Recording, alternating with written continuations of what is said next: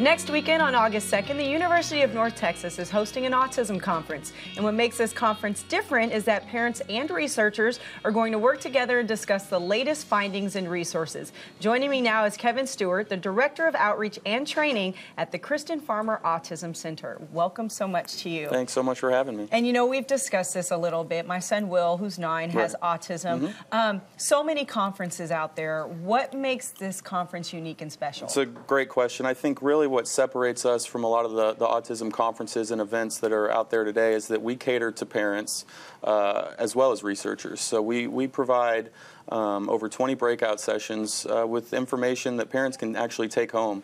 They can, uh, you know, take notes and, and really get an idea of, of what's going on in the latest research, take that information home, and really try and implement some of those uh, interventions and practices uh, in, their, in their own home. And so, what is some of the latest research showing us? We always hear the numbers, how many kids are being diagnosed, sure. but what sort of research is being done, and what are you guys finding out? I think the, the main thing uh, in terms of research is that evidence based practices is really what you need to focus on. So many different things are coming out um, all, all, the time. You know, this might work, this might work, but really, when you when you look at the research, it's the evidence based practices that work. Uh, you and I were talking earlier. Applied behavior analysis mm-hmm. is a prime example. ABA. ABA. Mm-hmm. Uh, it's an evidence based practice practice that's been shown in the research to be effective um, in autism intervention, and really sticking with those uh, evidence-based practices is, is what's going to produce results. And of course, starting those practices sooner rather than Absolutely. later. Um, you and I were talking about how difficult sometimes it is to get an assessment for your child. What's the wait period right now for you guys to try and get a kid, a kid assessed? We are currently uh, accepting clients. Wow. So you, you give us a call and, and we'll um, schedule a time to, to bring in uh, your, your child for an assessment. And I shared with my experience with you, mm-hmm. you know, in some other locations, it can take anywhere from a month to two months, even longer. Absolutely. Just to get an assessment. What would you tell parents, and this is always a big thing trying to communicate with people um, that I come in touch with, if you suspect that there might be some symptoms or something you might that should be raising red flags, what are those things and where should they go to get help? They, uh, first of all, you can come to the UNT mm-hmm. Kristin Farmer Autism Center. We are a, a, comprehensive autism center. We serve clients across the spectrum and across the lifespan.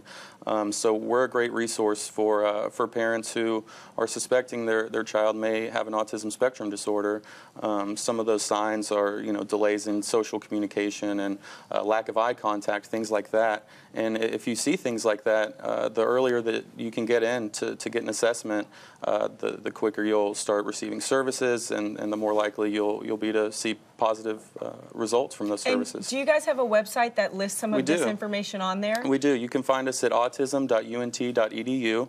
Um, all our contact information, direct service information, assessment information, uh, as well as conference information is on that website. And what can you tell parents? This is something I always like to try and communicate as best as possible, and it doesn't always come across sure. very well as parents, we're nervous about getting an assessment because what if it's actually confirmed that there is something there? Um, what would you tell the parents who are maybe on the fence about getting help, maybe on the fence about trying to come to a conference of something like sure. Sure. I, I think one of the main things is that uh, the, the, services that are available today at, at, places like the Kristin Farmer Autism Center are very high quality. Um, you know, it's difficult for uh, for a parent to receive a diagnosis of autism for their child. It's there's no getting around that. It's it's uh, very challenging, and you know they may lose a, a sense of what they thought they were going to have in the future with their child.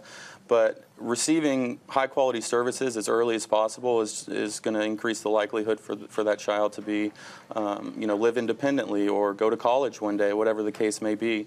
Um, so, so don't be afraid to, to reach out and, and give us a call. And, and you know, we, uh, we have a passion for this, and so we, we can really we can help. And a great place to get this information, because knowledge is power, um, is at this conference. Yes. And I think it's such a great idea. And thank you so much for being here Thanks today. so much for having Valuable information, everyone. The conference is Saturday, August 2nd at UNT Gateway Center. You can register online, and we'll be back right after this.